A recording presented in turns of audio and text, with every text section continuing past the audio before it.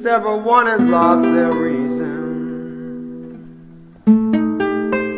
And the criminals are running the show.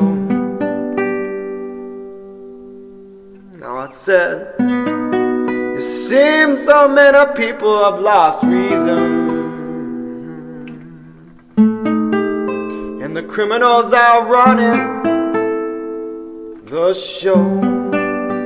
For example, they put a warrant out for Gaddafi's arrest.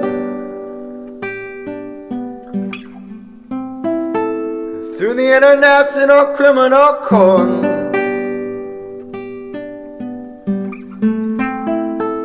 When Milosevic died in custody.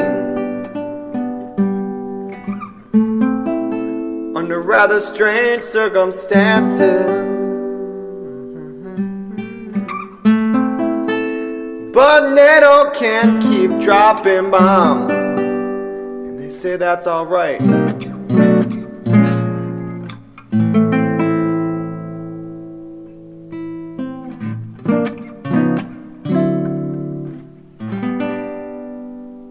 And it seems so many have lost their reason.